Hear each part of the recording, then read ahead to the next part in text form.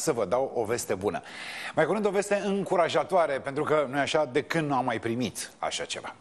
În sfârșit, există cineva care ne apreciază ca țară. M-am săturat să aud că România e coruptă, că prin vămi poate face contrabandă oricine dorește, că nu avem de niciunele motiv pentru care facem ravagi în restul Europei. Nu mai pot să aud așa ceva. Nu tot poporul român este așa. În marea parte a românilor, eminamente bună și civilizată, merită mai mult. Și avem șanse să primim mai mult. Parlamentul Europei a decis astăzi că România merită să intre în spațiul Schengen. De acord, este un vot consultativ, dar atârnă greu în decizia care se va lua la Consiliul Europei.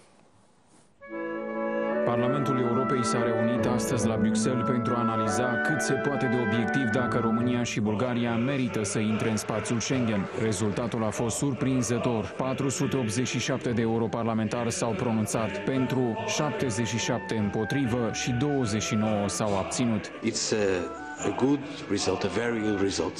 I think it's a strong message European Parliament is sending, is sending to the Council.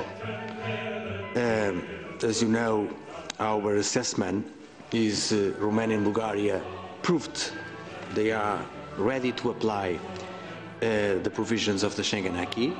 Rezultatul în ceea ce privește România este atât îmbucurător cât și surprinzător. Franța și Germania nu ne iubesc prea mult, motiv pentru care s-au opus vehement aderării noastre la spațiul Schengen. Este de înțeles, atât timp cât se confruntă de o grămadă de ani cu anumiți minoritari români care fac numai dezastre.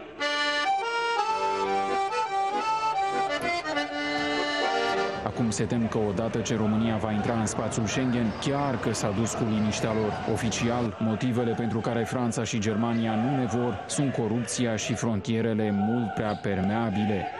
They are ready and they should join the Schengen area as soon as possible. Votul Parlamentului European este doar un vot consultativ, dar este un vot care poate influența. Totuși, decizia finală aparține Consiliului European. Asta s-ar putea întâmpla la viitoarea reuniune a Consiliului din perioada 23-24 iunie, însă mai avem nevoie de o recomandare, cea a Consiliului pentru Justiție și Afaceri Interne. Acesta se va reuni mâine la Luxemburg pentru a discuta problema aderării la spațiul Schengen a României și a Bulgariei.